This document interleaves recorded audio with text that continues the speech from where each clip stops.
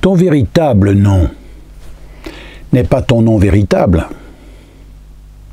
Tu t'appelles, mais c'est ton autre qui répond.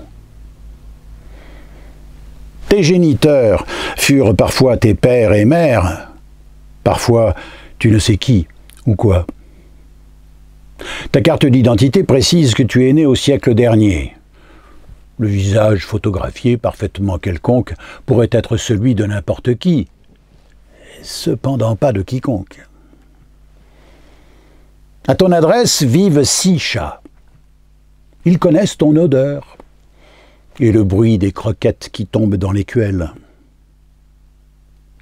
Ton individuement identifié n'est jamais identique à ce toi auquel on t'identifie.